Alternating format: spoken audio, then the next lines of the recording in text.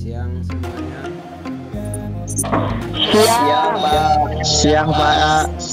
Ya, Siang, Pak. Siang Pak. siang, Pak. Siang, Pak. Apa kabar kalian? Baik. Baik. ya. Baik. Sehat Pak. Materi kali ini yaitu mendiagnosis kerusakan sistem pendinginan. Tujuan pembelajaran yang pertama, melalui pengamatan tayangan PowerPoint atau video, siswa mampu menjelaskan pengertian dan fungsi sistem pendinginan dengan penuh percaya diri. Kemudian yang kedua, melalui pengamatan tayangan video dan diskusi, siswa mampu menerapkan pemeriksaan komponen utama sistem pendinginan dengan cermat. Yang ketiga, melalui diskusi dan tanya jawab, siswa mampu mendiagnosis kerusakan pada sistem pendinginan dengan cermat. Sebelum kita lanjutkan materi kita atau penyampaian Bapak, eh, ada baiknya kalian isi dulu absen pada link kelas pelajaran Bapak. Bapak contohkan di sini absensi hari Jumat 2 Oktober 2020. Cara mengisi absennya yaitu dengan cara memilih jawaban hadir.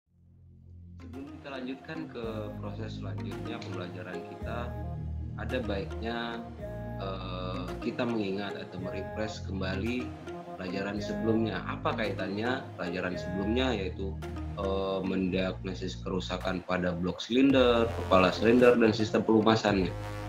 Kemudian dengan materi yang sekarang yaitu mendiagnosis kerusakan sistem pendingin, apa hubungannya? Apa korelasinya?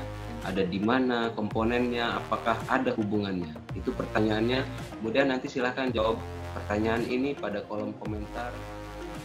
Materi yang kita pelajari kali ini sangat penting ke depannya eh, sehingga diharapkan kalian akan dapat yang pertama menjelaskan apa itu sistem pendinginan, kemudian eh, jenis-jenis sistem pendinginan, fungsi sistem pendinginan, komponen sistem pendinginan, dan selanjutnya kalian dapat mendiagnosis kerusakan-kerusakan yang terjadi pada sistem pendinginan. Eh, materi baik berupa video, presentasi atau PowerPoint, PDF dan sebagainya Bapak posting di sini.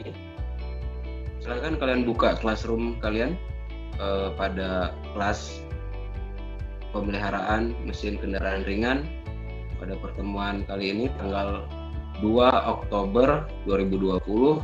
Di sini ada dua tautan, tautan berkas. Yang pertama itu pemeliharaan servis sistem pendingin dan komponen-komponennya yang berupa file PDF. Kemudian yang kedua di sini ada PowerPoint yang isinya mendiagnosis kerusakan sistem pendingin untuk menambah wawasan dan pemahaman kalian tentang materi kita kali ini, kalian juga bisa mencari literatur dari internet, baik itu berupa video YouTube atau artikel-artikel pada media atau juga eh, materi ada di blog-blog. Intinya kalian cari, dapatkan, kemudian tambah materi yang kalian eh, peroleh dari Bapak, kemudian ditambah dengan materi-materi lain. Eh, selanjutnya, kalian harus eh, menjawab pertanyaan yang Bapak buat di kelas kalian masing-masing. Pertanyaannya nanti Bapak posting pada tugas, yaitu tugas quiz bentuk soal uraian. Ada lima soal yang harus kalian kerjakan. Eh, pembahasan tentang tadi itu penjelasan sistem pendingin, eh, fungsi, dan komponen. Kita batasi dulu pada pembahasan itu, tiga poin tersebut. Diagnosis kerusakan pada sistem pendingin mesin.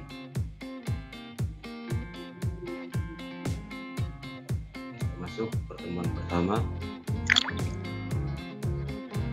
Pertanyaan ini harus kalian jawab mengapa mesin mobil membutuhkan sistem pendinginan.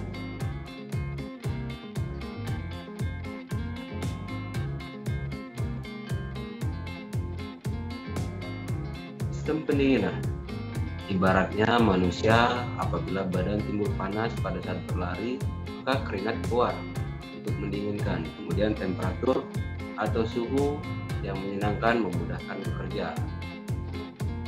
Pada mesin, apabila panas mesin juga harus didinginkan. Bagian besar tenaga akan hilang karena panas. Suhu yang sesuai membuat kondisi baik. Sistem pendinginan dibagi menjadi dua. Yang pertama sistem pendinginan air dan sistem pendinginan udara. Sistem pendingin udara adalah sistem yang memanfaatkan udara untuk menghilangkan panas.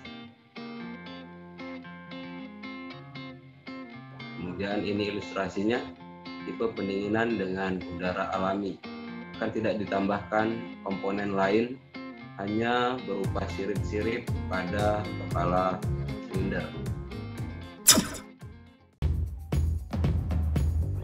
Pada classroom kalian akan muncul tautan link ini evaluasi uraian PMKR KD sistem pendinginan. Kemudian cara mengerjakan kalian klik tautan ini, isi nama, kelas, kemudian lanjutkan. Setelah lanjutkan soal akan muncul. Di sana ada e, perintah aturan main dari soal tersebut. Kemudian ada lima soal yang harus kalian isi untuk pertemuan selanjutnya kita akan membahas tentang bagaimana cara mendiagnosis kerusakan pada sistem pendingin yang pertama itu gangguan pada aliran atau e, saluran pendingin.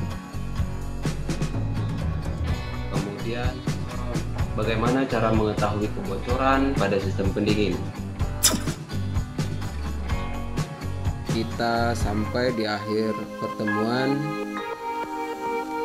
untuk pertemuan selanjutnya kita akan membahas tentang bagaimana cara mendiagnosis kerusakan sistem pendingin terutama terkait dengan aliran cairan pendingin dan yang kedua tentang kebocoran pada sistem pendingin. Semoga apa yang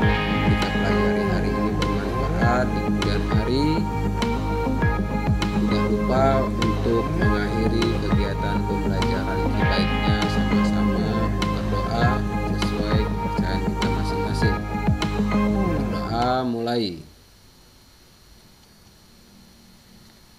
selesai nanti kalian gali lagi informasinya dari internet atau dari YouTube terkait dari yang kita pelajari pertemuan yang akan datang. Terima kasih atas perhatiannya. Selamat siang. Selamat siang, Pak. Siang. Siang, Pak.